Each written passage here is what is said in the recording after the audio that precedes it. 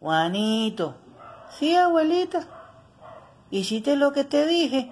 Sí, abuelita, ya te reparé la silla. Te la puse bien buena. Le puse su base para poder poner el cojín, pave. Ay, Juanito. Bueno, pues sacate 100 puntos.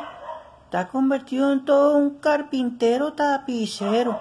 Sí, abuelita, yo te la arreglé con mucho cariño porque yo sé que esa silla tuya es una herencia de mi bisabuela. Sí, Juanito, hay que cuidarla y bueno, y seguir puliéndola.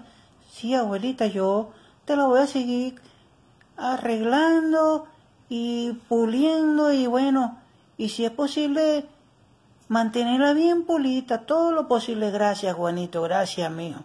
Bueno, abuelita, que la disfrute.